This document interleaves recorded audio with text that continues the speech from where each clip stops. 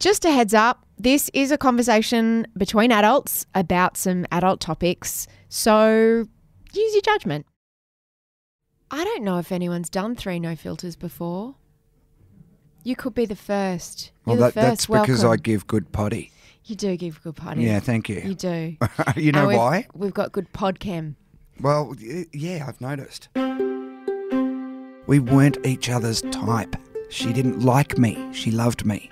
I didn't like her. I loved her. From Mamamia, I'm Mia Freedman, and you're listening to No Filter candid conversations that count. Nobody can push your buttons quite like a sibling can. Just because Samuel Johnson is the most high profile sibling in Australia, after he founded the charity Love Your Sister for his own sister Connie after she was diagnosed with breast cancer, that doesn't make their relationship any less complicated. Connie died just over a year ago, and it's been a brutal year for Sam in ways that you wouldn't expect, in ways that he didn't expect. This is the third time I've talked to Sam for No Filter, and he's one of my favourite people to interview. The word raw and authentic is probably overused, but those are two words that come to mind to describe Sam. He's just, he's an open book, and sometimes he's an open wound. And he's funny, and he's irreverent, and he's naughty, and he's fierce, and imperfect, and messy, and complicated. He's a clown and a warrior, and he's a champion for every single person who has cancer. All these things sound so cliched, but he really is all of those things, and he's all of those things within seconds of each other. It's quite extraordinary to sit in front of him and just watch him feel everything so intensely and things come over his face. His eyes filled with tears sometimes when we talked. Other times you could see how angry he felt. And other times he just looked kind of really lost, which is very, very Sam. We've become good friends since our first interview. And like most women, I'm kind of protective of Sam. This interview is really honest, probably the most honest one that I've done with him so far. And because of that, there'll be some people who will be challenged by what he says about his own life and about decisions he's made and about his relationship with Connie. But if you want the quick, polished version of anyone's story, No Filter probably isn't the podcast for you. Here's Sam. How long's it been since Connie died? About 14, 15 months. And in the aftermath, there was a lot going on. Like something that you knew was going to happen for so many years happens. Then there's big outpouring of public grief. There's funerals, private funerals, public memorials. Even just the physicality of all the time you spent talking to her and, and being with her. What fills that void and what do those months afterwards look like? Oh, drugs, alcohol, any excuse really. I stayed up for 15 days after she died, uh, and you can't really do that naturally. Um, I had a public memorial to stage, and I got it in my head that that was the most important role or job that I'd ever play. I had one hour to celebrate Connie, and I wanted it to be perfect. I did not want to celebrate her as a myth or as a, uh, you know, I didn't want to Jane McGrath and turn her into an inspiration. I wanted to show anyone who didn't know what, what she was really like. And that was where I started. And 15 days later, uh, I pulled together the most amazing thing I've ever uh, been in charge of. I, it, that service was, I mean, I, I don't care how fucked up I got during it, it worked. Um, that it was the service was impeccable. I watched it back at because we filmed it, and it, it's like Princess Di's funeral. It's like it's that it's that amazing to look at, and then there's just close-ups on all me and my family, and I was able to watch it back and realize how much I'd missed. So yeah, I don't know. After as soon as she died, I, I, it was crazy. I like I got on the phone on some manic rant to Karl Stefanovic for 90 minutes. We've got to do this, we've got to do that. Yeah, and we're doing this. And it was the rantings of a madman. I look back now and I'm like, wow, what were you? Where were you? So, yeah, I was pretty charged. I was doing whatever I could do to stay up. And I was burying myself in her, in, in the funeral, in this last show that I could do for Connie, because I've always presented Connie for six years. This was my last chance to present her uh, in real life, and not from the grave, but because that wasn't the from the grave bit yet. So, I think putting together that funeral is almost one of the things I'm proudest of. What are your memories of that day? Oh, not many. I was tired. I, it was enough for me to get there. My memories are of watching it back. I had a great time. I yeah, at the funeral. I love funerals. They're so fun. Um, do you not? Oh, they're way better than they're them? way better than weddings. way better. You have more fun because there's not What's that. the fun part at a funeral? There is actually a lot more humor at funerals than people expect. Oh, and yeah. and when, like when you actually think about almost every funeral I've been to has humor yeah, because you have to laugh. and it's Australia. yeah. You know, I mean, it's it, it, it What were the funny parts of Connie's funeral? um the real bits. yeah. because Connie, cause Connie was a nightmare. She was an absolute nightmare. So it was good. It was good. But as soon as she died, I felt I could lift the lid. it's like you know what? Yeah, she's an amazing sister. She's an amazing mum. She's a great advocate, but she's a pain in the ass. Check this out, you know. Um, and everyone got up there and really was respectful of my request not to deify her. And to talk about the person she was, to celebrate who she was, not who she told the world she was, not who she told her family she was, not who, who she told herself she was who she was. And I had 10 of the people closest to her who knew exactly who she was. Who spoke? Uh, everybody. Um, in fact, for the first time, the whole family came out. My, my other sister came out and spoke publicly for the first time. She's My- very my- interesting. Is, oh, she's yeah. I'm the boring one. You really are. Yeah, I know. I spoke to her on the phone. She was Yeah, amazing. Yeah, she is. She Um, is a prison officer. She is, yeah, yeah. She and she's releasing her first novel next year. Um, our dad and mum were uh, were, were, were writers, um, and um, I have a little known half brother that's at the moment choosing whether to kind of change the way the UN or the IMF works. Um, um, Which should it be? yeah, I know. He's, How old is he? Uh, he's a lot younger than me. He's a he's he'd be about I don't know how old, but he'd be probably about 27, 28, and he's just finishing off his master. He's he's just been in, invited to his PhD, uh, and as soon as he's done with his studies, he'll he'll change the way the world spends its money. He's a finance uh, guy. I don't even understand him when he talks. He's a genius. Um, but I'm definitely the boring one. We got we got all the interesting ones up there, and they all came out and they all said the truth. I'd encourage anyone who's interested in knowing Connie at all to um, to look at Love Your Sister TV on YouTube and check out the funeral. It's an awesome show. It's one of the best funerals you'll see on YouTube. Um, the day after the funeral, you wake up, Yep. haven't slept for 15 days, Yep. nothing to prepare, no media to do. Well, probably there's always media to do. No, no, that's that comes in waves. What Yeah. happens that next morning? Uh, well, to work. Yeah. I mean, I've I've got a legacy to uphold. I've got uh, you know I've got jobs that she left me with, and I love my work.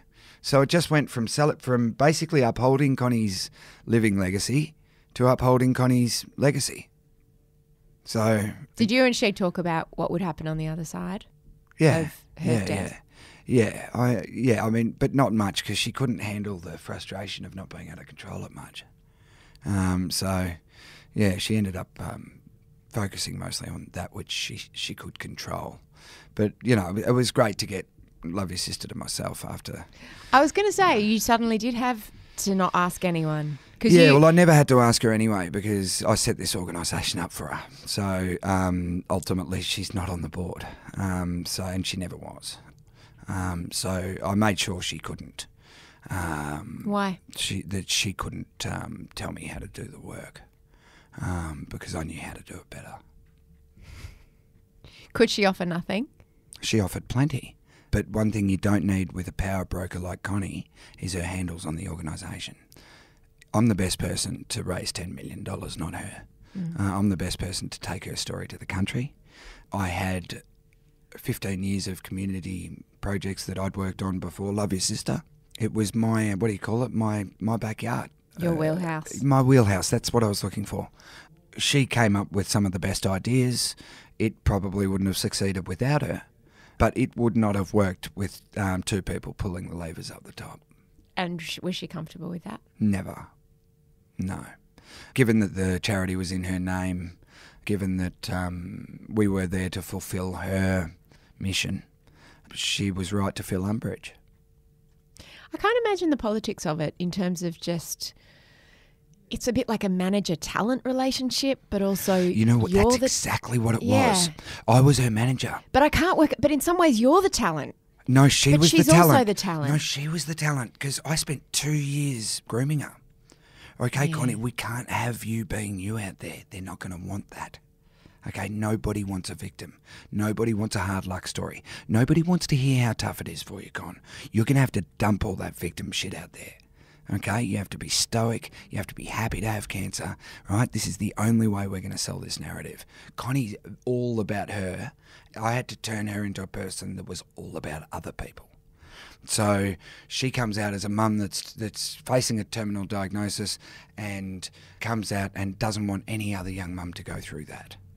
But when you, say know. it was all about her, it was all about her. She had the cancer.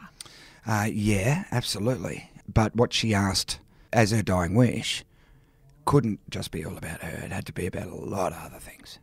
Did you fight much? No, no, we didn't. Why? Because it seems like you disagreed about a lot of things. Oh yeah, but Did you but just we let her fight? because she had the cancer No, we card? didn't fight. We'd talk about it. Yeah, right. We we, we, I, we were I should have said, did you disagree? on nearly everything. Yeah. Yeah, on how to be as a human, on how to behave, on how to treat people. Yeah, absolutely. We I disagreed with nearly every part of her um, across forty years. We couldn't be more different. We couldn't be more diametrically opposed as people, and we couldn't have a, a more serious distaste for one another. We weren't each other's type.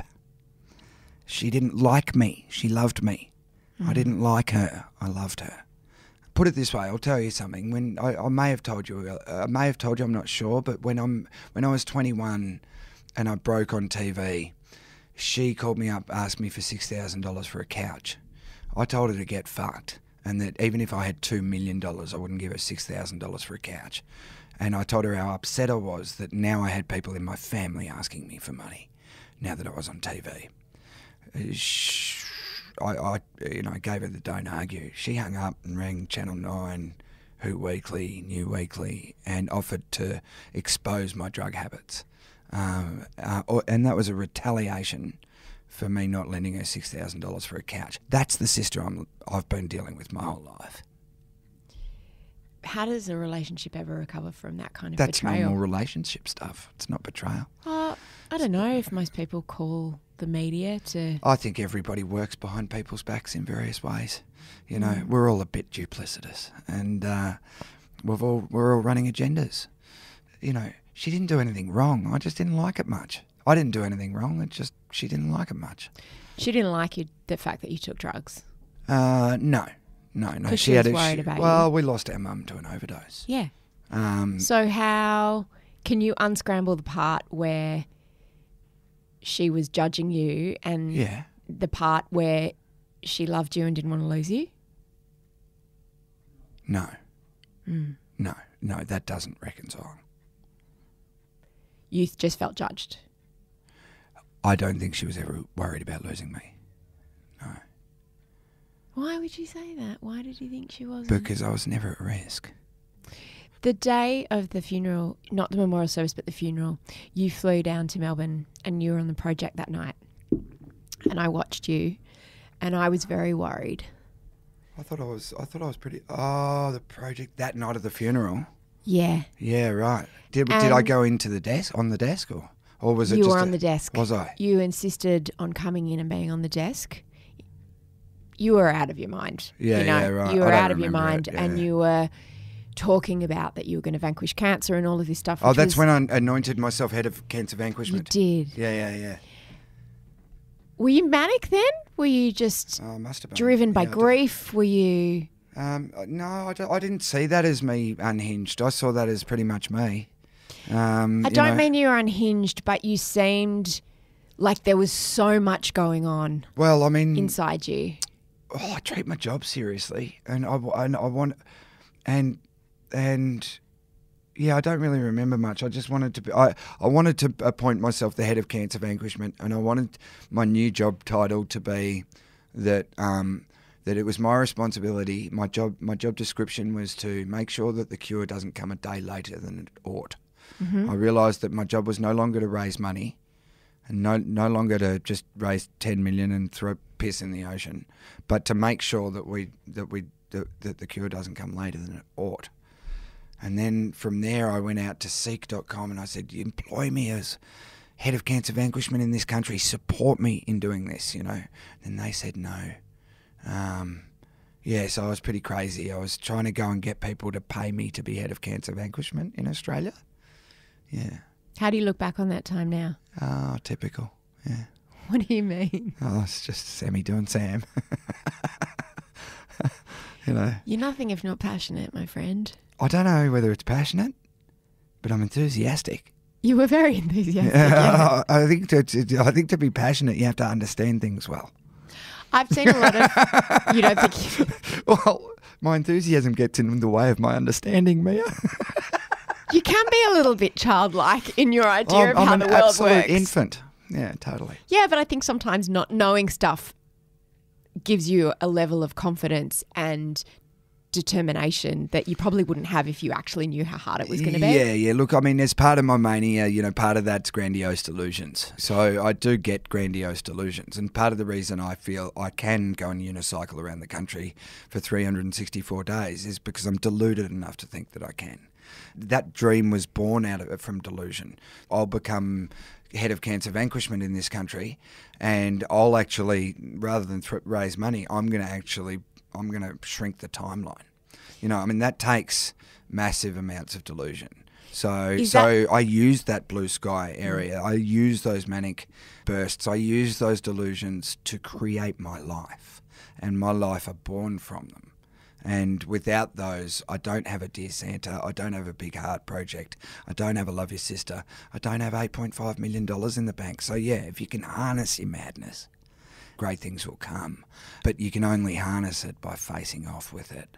If you, if you do not acknowledge your madness and, and work to understand it in the knowledge that it will know you better than you will ever know it, uh, then you're just a, a raving lunatic as opposed to a, a crazy guy done good.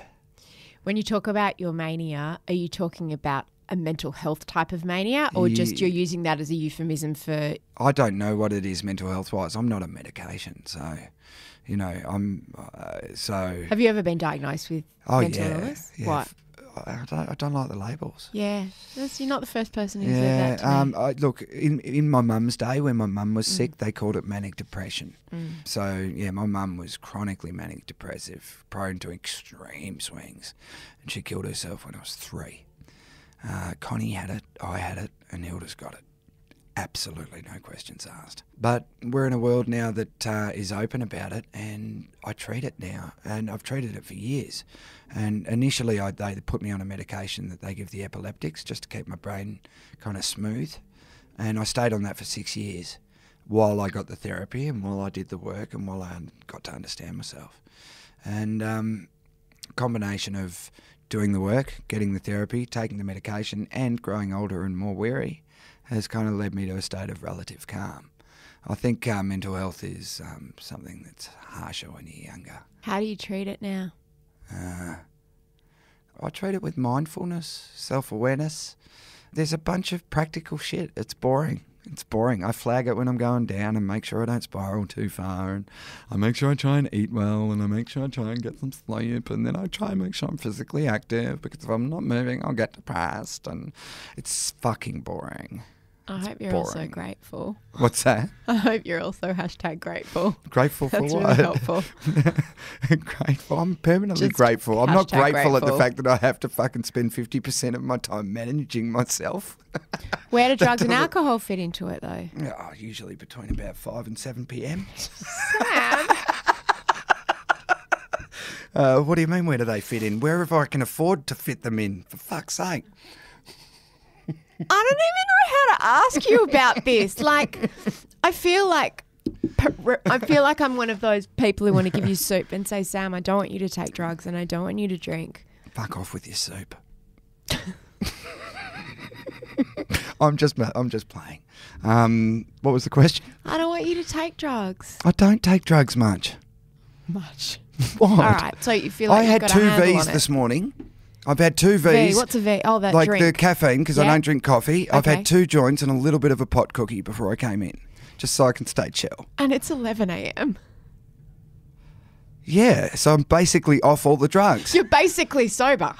This Dude, is you sober. Fucking A. Thank you. Where's the respect? I've come a long way. In No, seriously, I'm a pothead, right? And, Right. and we know that that's not going to fuck you up too much if you if you do it responsibly. I mean, plenty. Well, can we- some we- people. Look, it can cause awful drug psychosis, and I don't recommend it, but it can also kind of help balance this old wonky head out. I, I, I've I've used it to self medicate for years, and I and, and I've achieved many things and a happy life on it. So. but not everyone does. And Not everyone does, and I'm not trying to promote that. the weed. I what I'm it. saying is that I don't I don't come down on myself for the weed.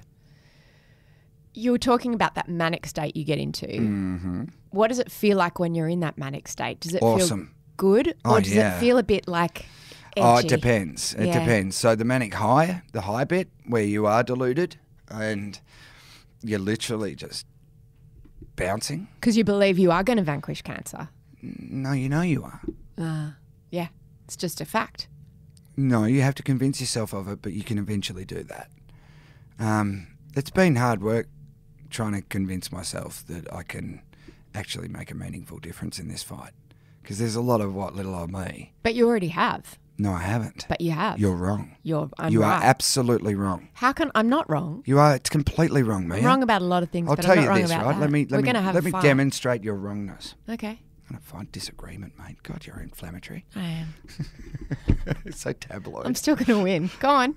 oh, it's about winning, is it? I thought it was about learning.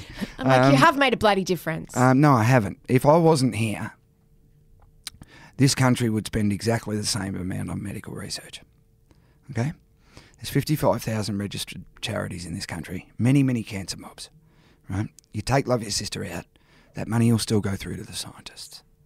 Okay? I've made no tangible effect on the fight against cancer. Uh, I said tangible. no, I disagree. No, no. Also, explain tangible.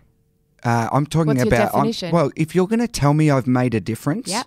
Then making a difference in the fight against cancer Mm-hmm. um, it involves a lot more than ten million dollars and a bit of awareness raising, Mia. Depends It- how you, you measure no, it. No, that before you start arguing, listen to that, right? Because ten million dollars and a bit of awareness raising could also be said to be a piss in the fucking ocean. Okay, cancer treats our millions and our billions with scorn, with contempt, and and and to cancer, I have made no difference.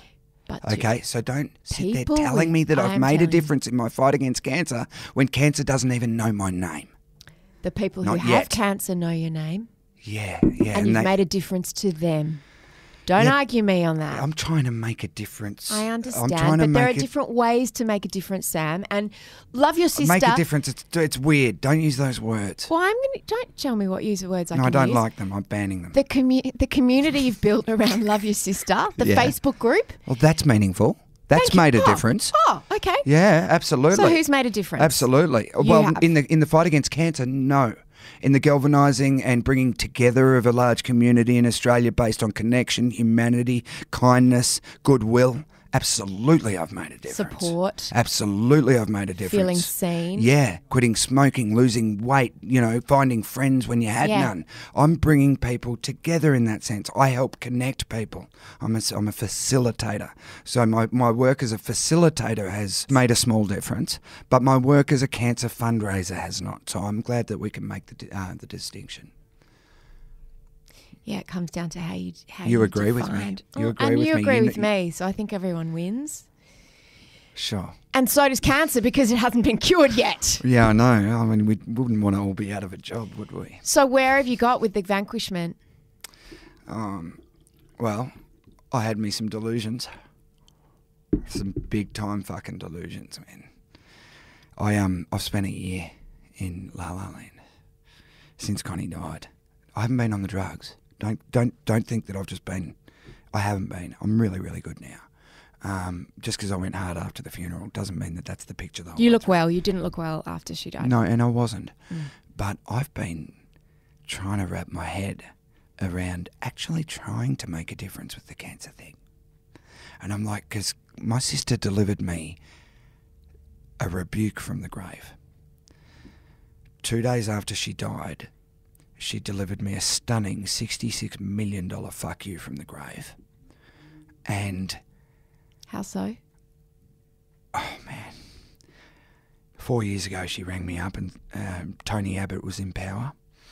He was spruiking a thing called the Medical Research Future Fund. He wanted a $20 billion fund to fight cancer and he wanted to fund it with a $6 GP co-payment so that every time you went to the doctor you paid six bucks and it went into this fund. Four years ago my sister rings me and says, have you heard of the MRFF? And I went, yeah, what of it? What is it? The Medical Oh, Research yep, Future right, Fund. Yep. I didn't like it, along with the rest of the country and along with the media. It wasn't means tested. It, it hit our people the hardest. Our people are mums, 85% mums, 85% broke, and can't afford this stuff. It wasn't means tested. The poor, the elderly, the sick, the infirm were the ones that were going to bear the burden of paying for this fund. And to me, to support the fund was misrepresenting the people um, that I represented. Love your sister. Connie saw it differently. Connie said to me, Look, we should all want to pay. They want us to support this legislation. Can Love Your Sister get behind the Medical Research Future Fund? I tore a new one. I said, fucking hell, Connie. You, first you want me to raise a million dollars, then you want me to remind every young mum in the land to be breast aware. We're an awareness raising initiative, we're a fundraising initiative. Now you want me to get political? Now you want me to undermine? You want me to split in half our base, which I've spent three or four years building? You want me to land one Facebook post in there that's political and cut them in half and divide them? We're about being together on this, Connie. What part of what you're fucked, mate? Like what, this hanging out with all these people in Canberra has gotten to your head on no day of the fucking week. No way. Fucking over my dead body. And um, she let me finish. And she said, and this has come back in my head over and over again, and I can say it the way she said it because I'm a voiceover guy. I'll give you the exact tone of it. She went, So imagine I've just barreled her for 10 minutes and gone over my dead body. She went, But can I still work on it? But can I still work on it?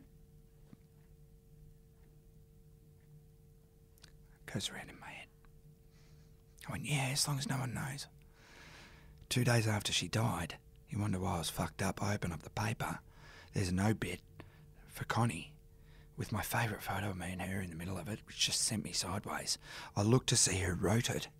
Professor Tony Cunningham, the head of the Australian Association of Medical Research Institutes, the CEO of the Peter MacCallum Cancer Research Institute, CEO of Walter and Eliza Hall Cancer Research Institute, CEO of bloody Garvan, the, all of the, the creme de la creme of the Australian scientific research community got together to write my sister's obit, and fuck me if it wasn't all about the bloody Medical Research Future Fund. She campaigned behind my back on it. She rolled herself through Parliament in extreme pain, actively dying, begging them, pleading them, imploring them to support this legislation. Every single member of Parliament, she got to them all. And it was the contention of Professor Tony Cunningham in this article that if my sister didn't put a face to the problem, that that legislation wouldn't have passed, and that the first $66 million interest payment from that fund, which was released the week she died, should be made in her name. So while I'm ground level, town to town, shaking tens, trying to get to that 10 million, just thinking it's piss in the ocean, we're just, we're not making a difference. We're not here to. We're just doing the right thing, keep it ticking along. So while I'm doing that, she gives me a $66 million fuck you from the grave two days after she died. And I'm like, fuck, I've missed the point. I didn't realise we were here to solve cancer. I thought we were just here to connect and lose weight and quit smoking and find friends. Because that was the reason I was doing it. And she's like, nah, buddy. Don't forget about the main game, Buster. We're here to cure it. Okay? And the 66, $66 million will get you started now I'm gone. Have a think, little brother. Have a think of what you're doing with my organisation. You reckon you can call yourself custodian of my legacy when you don't even know what my legacy is? You read that article in the paper. Those people know what my legacy is. You take your name off the list. So I went on the project. I'm like, I'm custodian of Connie's legacy. I'm head of cancer vanquishment. It's my job to make sure the cure doesn't come a day. Making sense now? Hmm. So then I spend a year just going, fuck, my job is actually to cure cancer.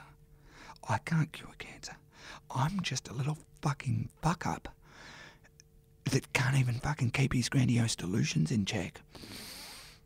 I'm. What do you mean I've got to fucking solve cancer now? I just wanted to get to 10 million. We were never meant to solve cancer. No one told me that. And so I was like, I have to do this if I want to be custodian of her legacy.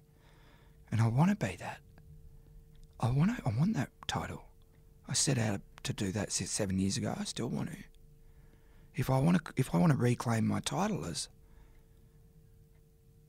as, as chief custodian of my sister's legacy and head of cancer vanquishment in this country, I got to do more than raise ten million. I can't do that. I'm not that guy. Why would it be me? So for a year,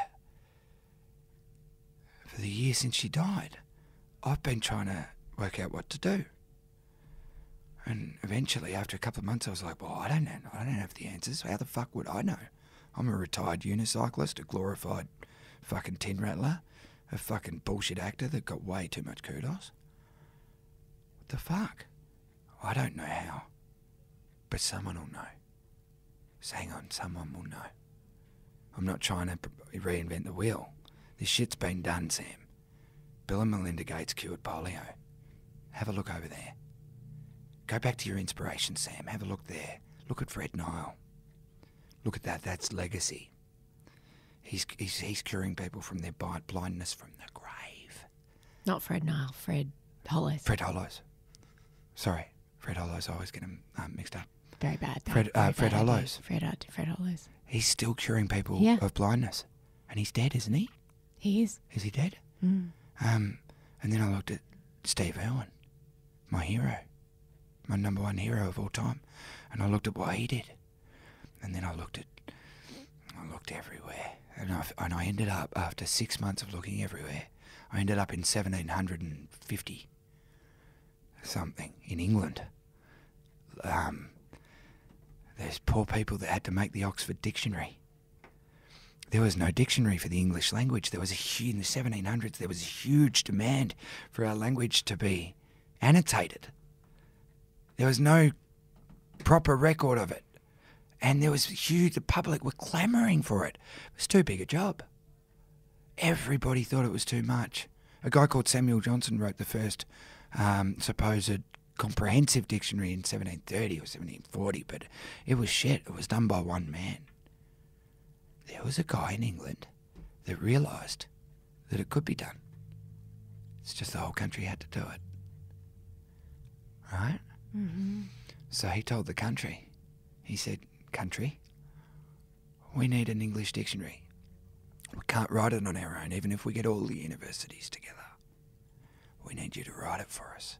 Submit your words from A to AD from in this year. Hmm. So submit AD to AF in that year. Wow. Over the next 55 years, the country crowdsourced the Oxford Dictionary before the internet. So I was there going, fuck, righto. So if you get everyone on board, you can change shit. And I thought that crowdsourcing model for the Oxford Dictionary, I could go around for the rest of my life and tell the country that we need this dictionary to be written. So what does that look like? Oh, you'll find out next year once I've built it proper. But um, but No, you just clickbaited me. I think it's um, it, I think I'm going to call it the fuck cancer bank.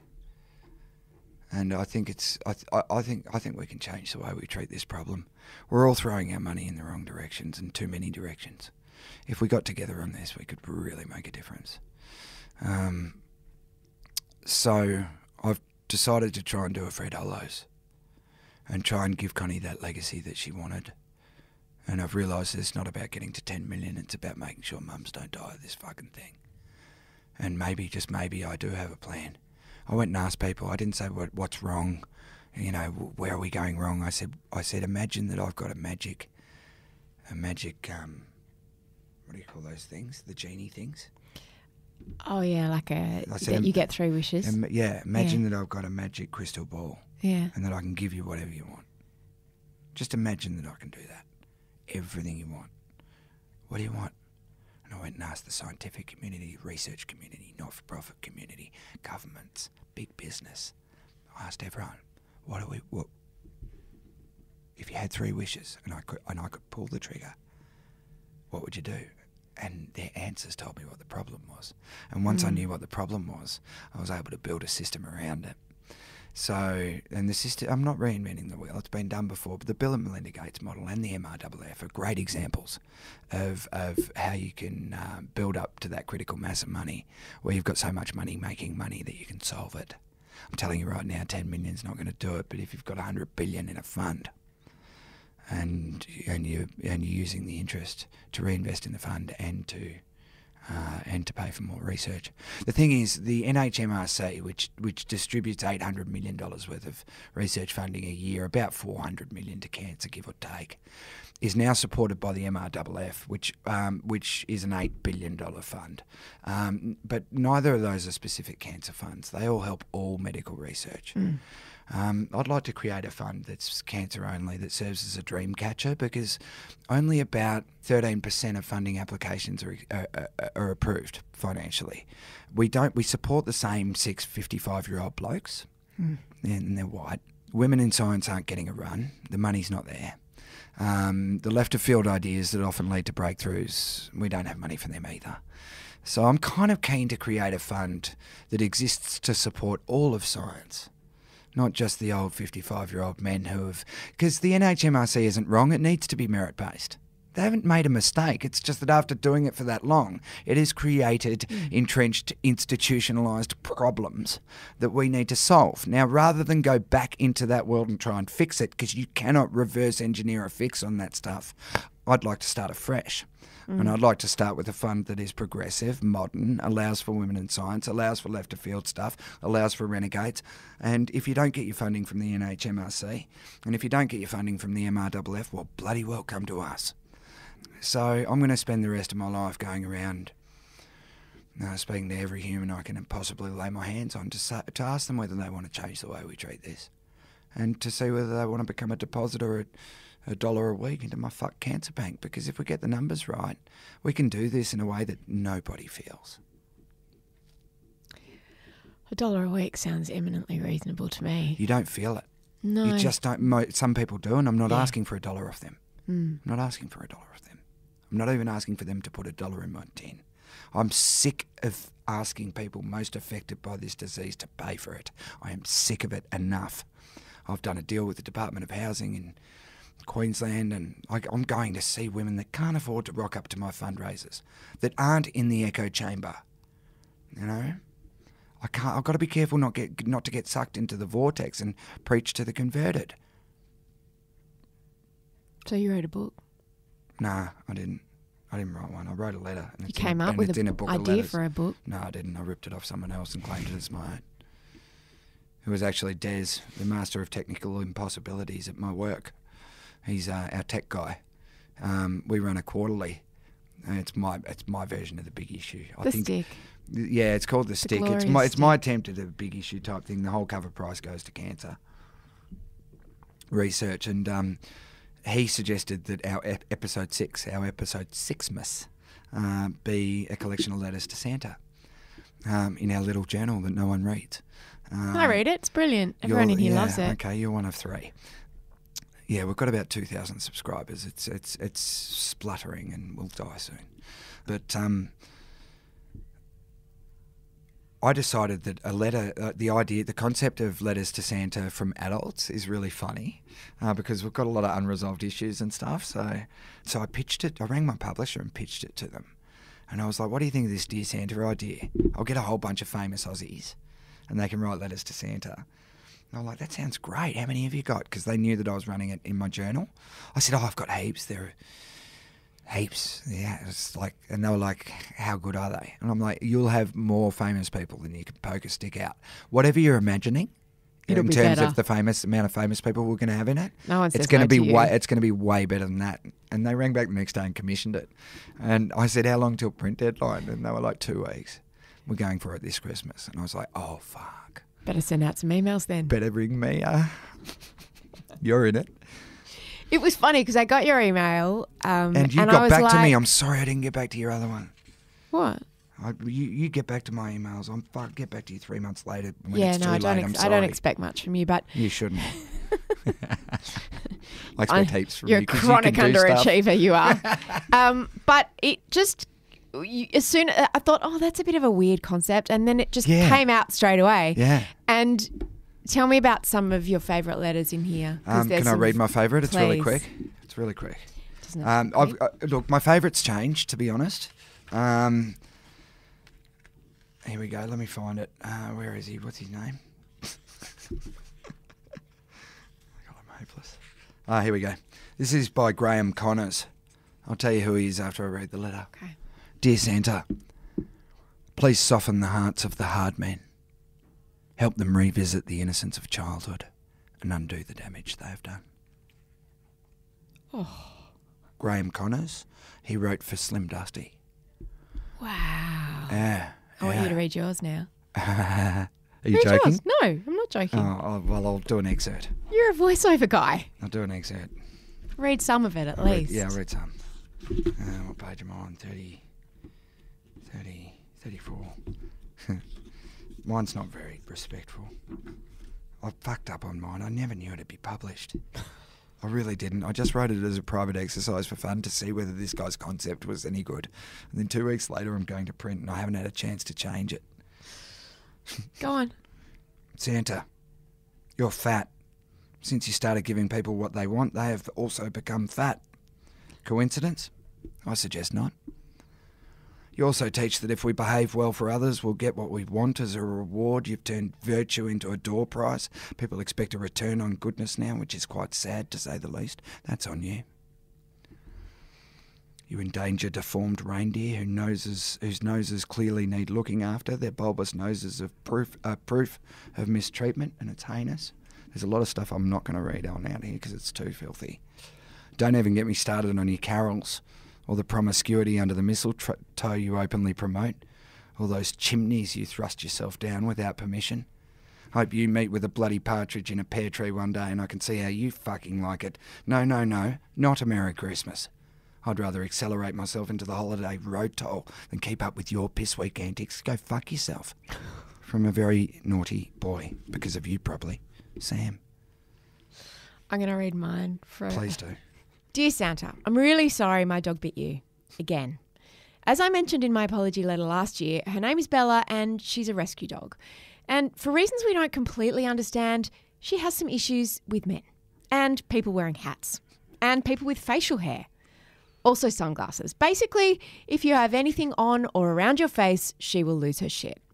It's not her fault. Since the unfortunate incident last year when you shed quite a lot of blood in and around the fireplace, presumably at the location of your entrance to deliver presents, we consulted with a dog trainer, or a whisperer, as everyone who knows anything about anything, or perhaps just downloaded a PDF from the internet, is now called. His name was Graham, and Graham told us that we needed to stop making excuses for whatever past she may have had before coming to us, and that she was just being unreasonable with the biting. And that some dogs are just nuts. He believes she's one of those dogs. I floated my theory with Graham that perhaps she just has highly attuned facial recognition software installed in her brain, and any perceived alteration to the facial area in the form of hats, sunglasses, facial hair, or a new fringe caused the software to malfunction to the point where she no longer recognised the face and decided to bite whatever body part was closest to the ground. Graham said that was bullshit. So, anyway, once again, please accept my sincere apologies, and I do hope that the delicious quinoa muffins, gluten free, that I left out for you to snack on help to dull the pain. On the bright side, your suit is great camouflage for blood. So there's that. and it was a great strategy to leave the reindeer on the roof because last week Bella ate a possum. All the very best. And this year we will for sure try to remember to tie Bella up far away from the Christmas tree. Love Mia. I love yours. It's really cute. Um, also I'm- really true. Oh yeah, right. she would bite the shit out of any Yeah, Santa-looking yeah. person that came near my Mine house. was also really true as well. I don't know. I don't feel like many people died, although there was a broadcaster in Melbourne that was very cynical about our efforts. There was just like every celebrity is full of it, coming in with their bloody sanctimonious, fucking earnest stuff. Nobody asked for a million dollars. Nobody asked for a five hundred thousand dollar bright blue Aston Martin. You know, it's um, why aren't people being honest about the fact that they still want stuff? Didn't even occur to me to ask for anything. I just apologised. That's my just I didn't. Yeah, right. my That's default telling. position That's is so just telling. cowering and asking for forgiveness. Yeah, yeah, yeah, to the big man, you know. um, but I, I didn't ask for anything either. I just asked for the chance to bloody vent. A lot of people ask for the vanquishment of cancer. Oh, Leigh Sales did it most Yeah. uh, most deftly. She Um, let me paraphrase. Um, uh, while you're at it, Santa, maybe maybe you could give us a cure for cancer. That way, next year I can ask for a Prada handbag with complete impunity. She's a class act. Ah, she is, isn't she? She really is. Um, she, I, I, I don't like putting anyone in, in, in, in the same bags, but for me, you know, your Mias, your Leigh Sales, your Natasha Stott Despojas, these are all these are all women that I personally like uh, and, and admire. Um, or look up to. I don't want to be too effusive, but yeah, I mean these are the women that have informed my life. Um, whether it be you, Leigh, Natasha, when I was younger, it was Natasha. You kind of, in a way, because I was starting to try and be entrepreneurial as well myself in my life at the time when you were basically just becoming the startup queen. I kind of, I think I, I, I had Natasha and then I had you because it reflected my change because I was a startup charity and I did a lot. I, I see myself as um, a, what do you call it? A, um, in, um, uh, what do you call it when you do something the way someone else, like I see myself as a, um, Acolyte? yeah, That's probably not yeah, the right I don't know. I don't know what that means. Um, but in terms of kind of, I, I did a lot of shit that I saw you doing. Um, So when I say admire, it's, it's I admire it enough to appropriate it. Please do. I know you're an appropriator. That's I, I am. Yeah, I love you, Sammy. I love you too, darling. Thanks for putting up with naughty, filthy Sammy today. I've just, I don't know. I just after all this fucking mainstream media, I just obviously felt I had to rock the boat for no reason whatsoever. Just Just, love all the parts of you, even the mm. manic crazy ones. Just try and love the good parts, please, like I do. You don't want to love the bad bits. See ya. Thank you for listening to No Filter. You can buy Dear Santa at any good bookstore or at apple.co forward slash Mamamia. Please do so. All the proceeds go to helping Sam to vanquish cancer. And if you want more Sam in your ears, why not check out the other two interviews with Sam that I've done over the last couple of years? Search for The Secret Life of Samuel Johnson and Samuel Johnson is okay in your podcast feeds. No Filter is produced by Liza Ratliff. I'm Mia Freedman, and I'll see you on Mamamia.